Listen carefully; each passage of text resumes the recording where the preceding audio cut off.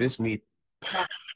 Okay, hello everybody and welcome. So this is sort of a quick special episode that's not directly related to um, a particular episode of a program, but actually is related to um, a subject of a program. And it's so it's as you can see the title, it's how the woke broke TNG. So um, if you come down on a political uh, side that uh, is uh, pro woke, then you probably won't like this video, and that's fine. Uh, you're absolutely entitled to whatever your opinion is.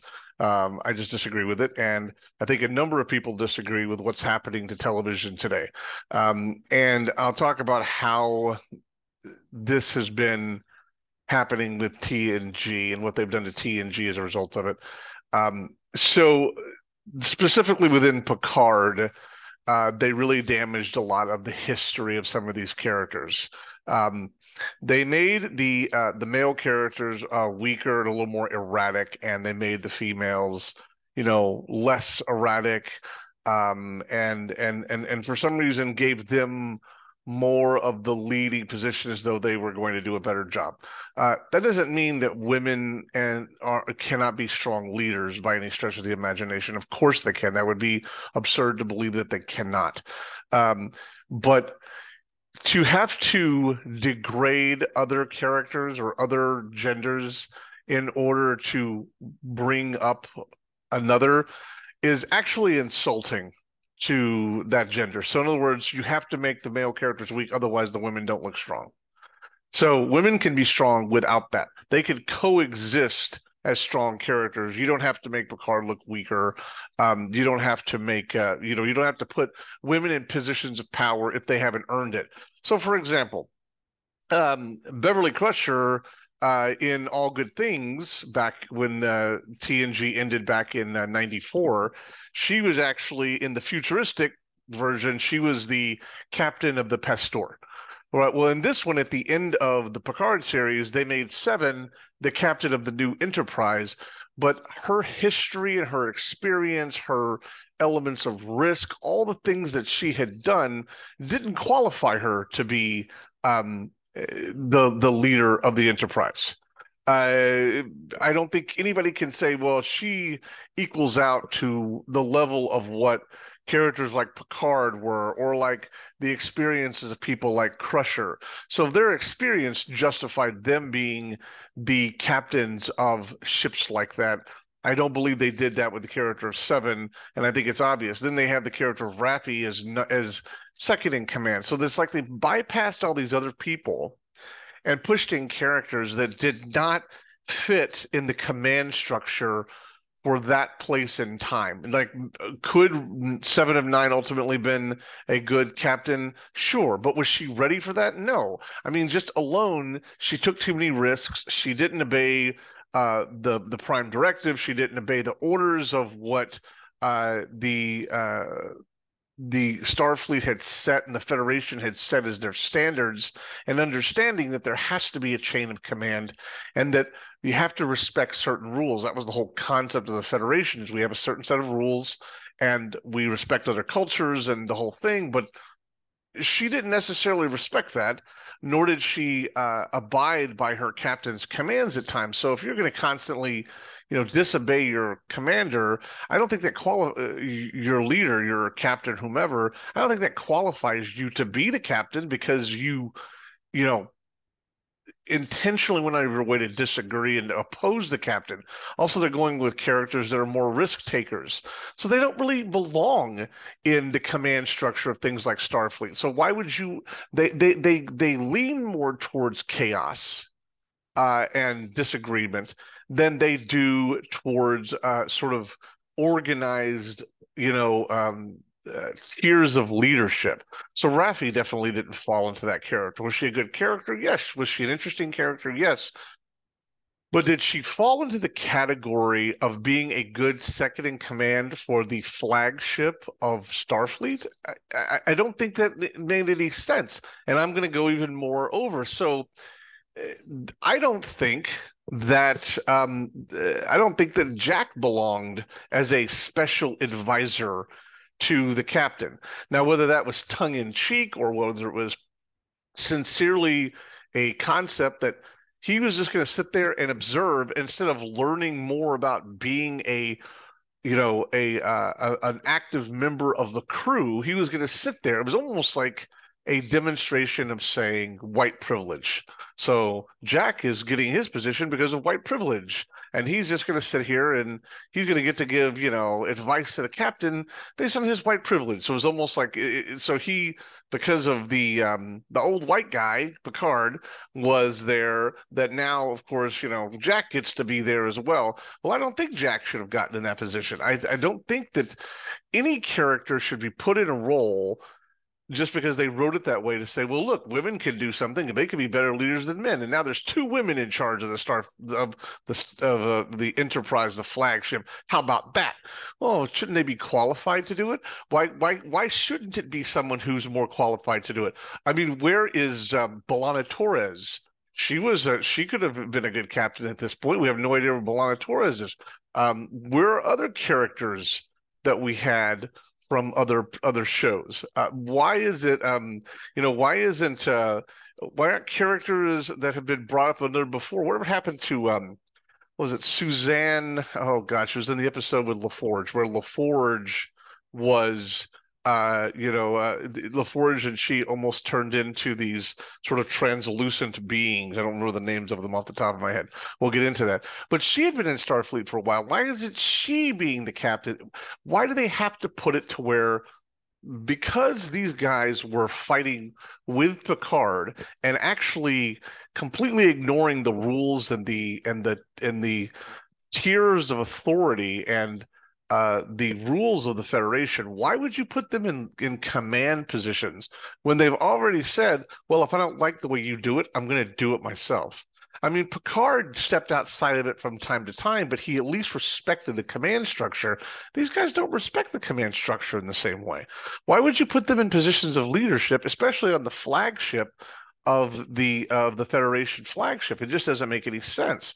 So this is the problem. They're trying to, you know, the, eliminate old white people, if you want to call it that, uh, and and and or the older class of people, and put in younger people or people who, you know, or you know, women more in positions of power without earning them. I mean, why why why wouldn't Tuvok, with his experience and his level of experience, why wouldn't you put him in charge of the Starship Enterprise?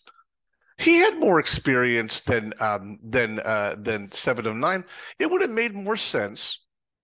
In, in at the end of TN uh, of the end of Star Trek Picard, if they had because you know all the ships had gotten damaged and all they, they were rebuilding the fleet and they rechristened the Titan, um, the uh, the the Enterprise uh, G NCC 107 G, it would have made more sense, even though uh, Seven had the experience as the first officer on it. If you were going to now make this the flagship of the Enterprise, it would have made more sense for Tuvok to come over and be the captain of the Enterprise, and then her be his second in command.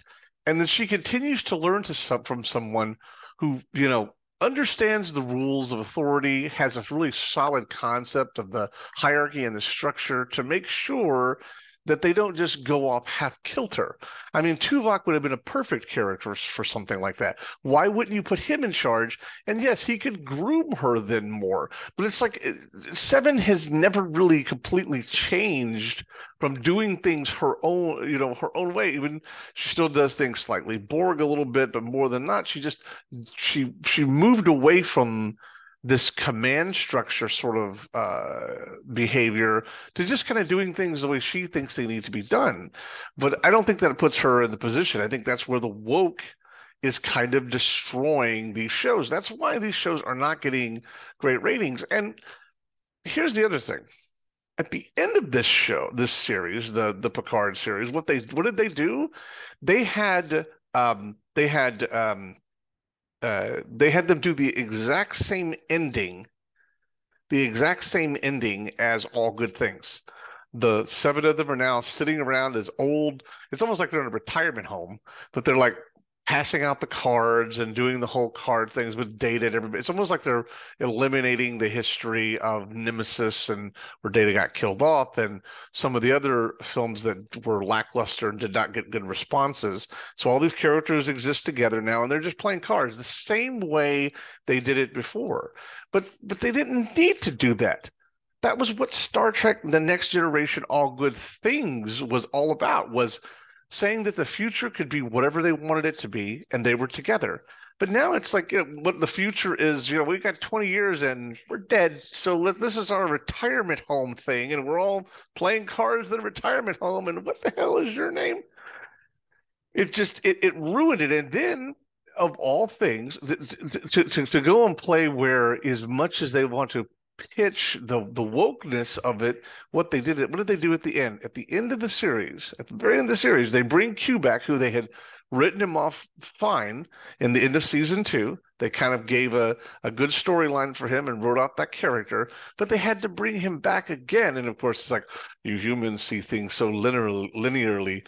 But they bring him back and he's talking to jack and saying well the you know picard you know has completed his um you know, the trial of humanity, but yours is just beginning. Jack is not in charge of the ship. He has no. That's basically almost saying that he doesn't have to listen to Seven of Nine. Was it because she's older? Is it because she's a woman?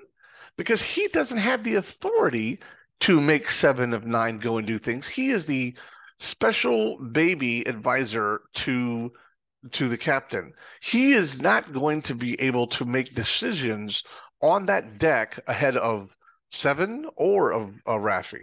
So what, what what is the logical reason for a Q to come and see him?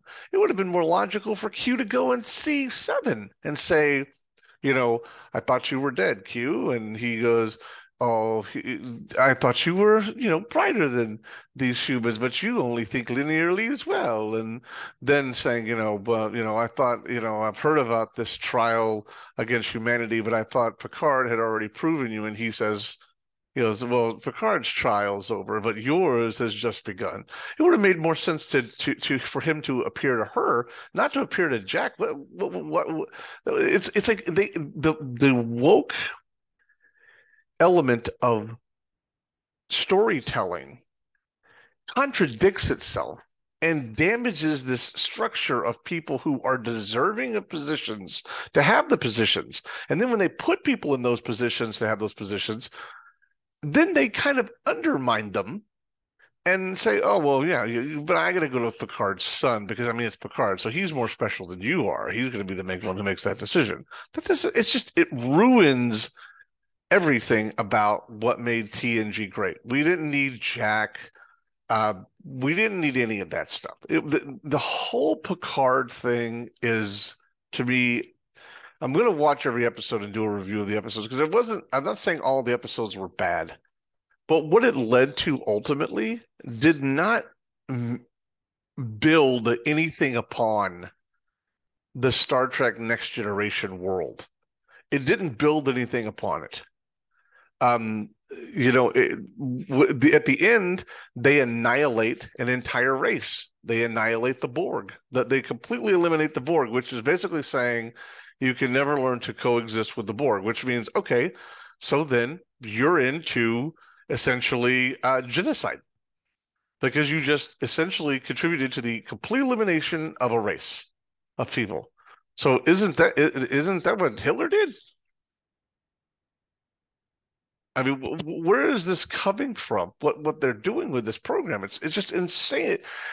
Woke uh, storytelling bends so far, they go around the other way. They don't go 180. They bend so far. There's 180. They kind of bend and loop back up to the place where they were before, but with a distorted perspective of it. And that's what sort of is happening with what what happened with Picard. So yeah, that's my opinion on the how the woke broke TNG. Like I said, if you have never watched an episode of Picard, uh, don't. TNG's all good things. They basically just robbed their ending because at the end of TNG, all good things, which we'll talk about that episode at some point too. Um, you know, uh, Q even says to Picard, "Don't you get it? The trial never ends." So that was never going to be completely over anyway. The whole idea was even Q even says, "I'll stop by from time to time," but it was almost like they felt like they had to pass it. But Q is not in the same place he was the actor's not the same age. So the timelessness of that character has been damaged. Instead of leaving him timeless in that place that they were, they should have just left him alone. He was fine. You just you didn't need to bring Q back. You knew he was there and he was watching and that he was going to challenge them to make sure that they were continuing to evolve. And in this one, it's as though they it became very emotional, and uh, they they had to create a story that didn't need it, that didn't need to be created, because Picard had already at the end of it, what Picard finally found was family. That was what really he was missing was family.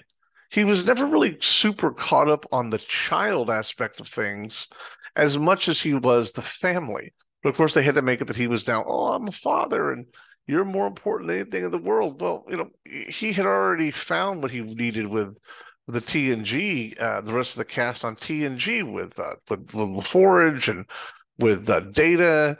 Kind of already mentioned that in one of my, um, I think it was my prediction or uh, uh, or may have been the live reaction to the Picard series finale. But bottom line is, uh, the woke broke TNG. They broke it. And if you haven't seen any of Star Trek Picard, if you want to watch it, uh, then you know watch it. But I, I don't encourage it. It's just like the end of Entourage. The series ended fine.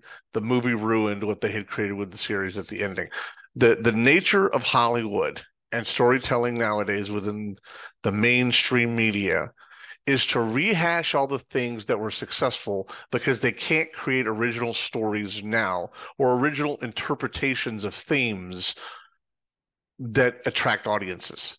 So they have to go and dig into the into the into the annals of history and find the things that were successful and try and you know basically suck all the the nectar and the bone marrow out of it to try and make an extra you know an extra dime here and there when it was fine. Who really needed to see more of what happened with Picard and all those after TNG how many people really needed to see you know all the other adventures they'd gone on? We had seen 200 and something episodes, wasn't it? 200 and something episodes of, of Star Trek Next Generation. We had seen the adventures what we knew was they were going to go on more adventures. Um, you know, whatever their futures turned out to be was fine, but we knew they were going to go on more adventures together. We knew that they were a reliable crew and that they would probably make it through. This just pushed it further, but to a point of I don't know nauseum for me. So uh, that's my opinion on this one. Take care. If you like this video uh, or you don't like this video, thumbs it up, thumbs it down. Leave your comments below. Tell me what you think. Do you think the woke broke TNG? I I I strongly believe that. And uh, we'll see you in the next video. Take care. Continue to be awesome.